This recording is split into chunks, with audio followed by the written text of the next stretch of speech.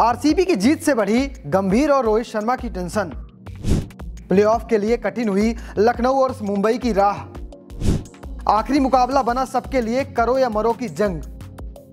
नमस्कार, जनसत्ता में आपका स्वागत है। मैं शुभम और बात करेंगे इस वक्त प्लेऑफ का जो समीकरण बिगड़ चुका है। जी हाँ आरसीबी ने जिस तरह से एक तूफानी जीत दर्ज की, उसके साथ ही मुंबई हो, लखनऊ हो या फिर सीएसके सबके समीकरण डगमगा से गए हैं। कौन पहुंचेगा प्लेऑफ में, अभी तक कंफर्म नहीं हो पाया। सत्तर मैच होते हैं लीग के पैंसठ मैच खेले जा चुके हैं और अभी तक किसी का प्लेऑफ का टिकट नहीं कन्फर्म हुआ। सिर्फ़ और सिर्फ़ एक टीम है, गुजरात टाइटंस, जो इस वक्त प्लेऑफ में कंफर्म हो चुकी है और पहले स्थान पर रहेगी।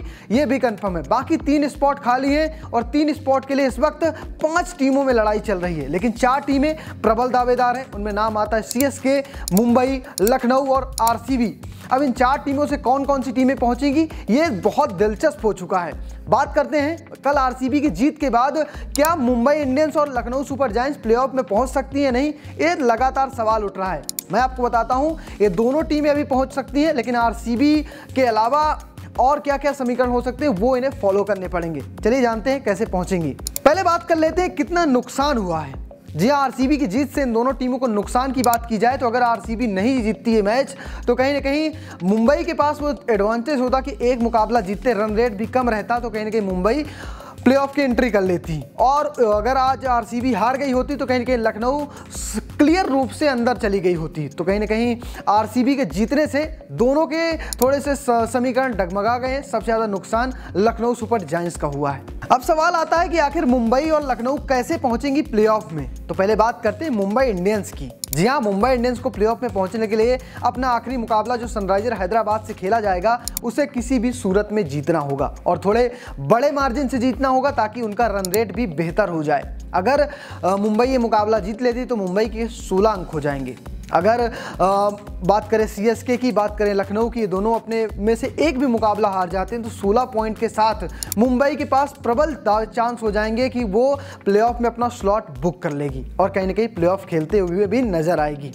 फिर बात करते हैं दूसरी टीम, लखनऊ सुपर जायंट्स। क्या लखनऊ आरसीबी की हार से डगमगा गई है? क्या नहीं पहुँच पाएगी? सवाल है। आपको बता दें कि मुंबई इंडियंस और आरसीबी के दोनों के एक एक मैच बाकी हैं। इस वक्त दोनों टीमों के चौदह चौदह अंक हैं। ऐसे में अगर इन दोनों टीमों से एक भी टीम हार जाती है तो लखनऊ बिना किसी सपोर्ट के, बिना किसी जीत के सीधे प्लेऑफ में एंट्री कर लेगी। लेकिन अगर लखनऊ अपना आखिरी मुकाबला जो के से खेलेगी, उस मुकाबले को जीत लेती है तो किसी की हार की भी ज़रूरत नहीं पड़ेगी।